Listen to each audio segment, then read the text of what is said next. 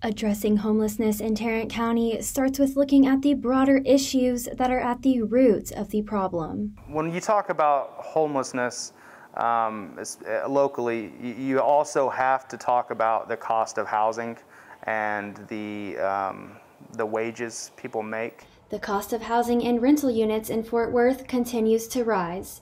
Meanwhile, people's wages are not rising, leaving the marginalized without a place to call home there are all these super vulnerable groups um, that wind up out here, uh, and a lot of the time for the first time. I mean, when you talk about the pandemic and what COVID has brought, um, it has, you know, compounded the issue uh, severely. The number of people who experienced homelessness in Tarrant County in 2020 rose by 6% from 2019.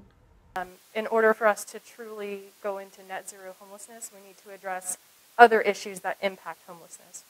For now, agencies are focused on moving homeless individuals into permanent housing. With a little over 1,000 homeless individuals moved into permanent housing in 2020 alone, agency directors are hopeful the housing system they have in place will continue to improve the homeless issue in Tarrant County. Agencies recently received more funding through the CARES Act, which will help move even more individuals into permanent housing. Haeven Gibbons, TCU News Now.